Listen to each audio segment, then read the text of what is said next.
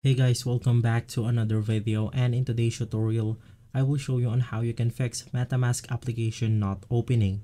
This is a step-by-step -step guide so you should be able to follow easily.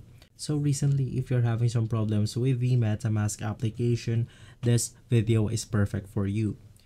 First things first, you want to head over to your system settings and from here you can just scroll down until you see general. Inside general, once again, you could just scroll down and you will go ahead and see the iPhone storage.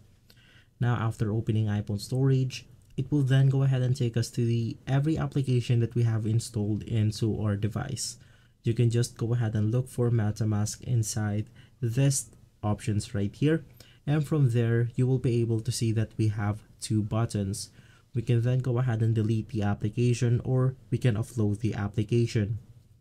If we read the offload application right here, it will say that this will free up storage used by the application but keep its documents and data.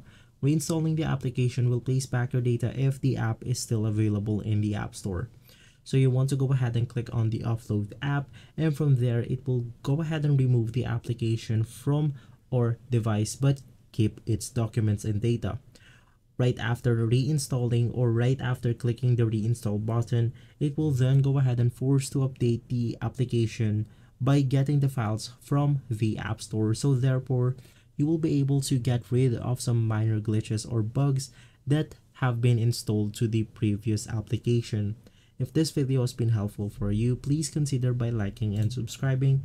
I'll make sure to see you again next time and as always, thank you.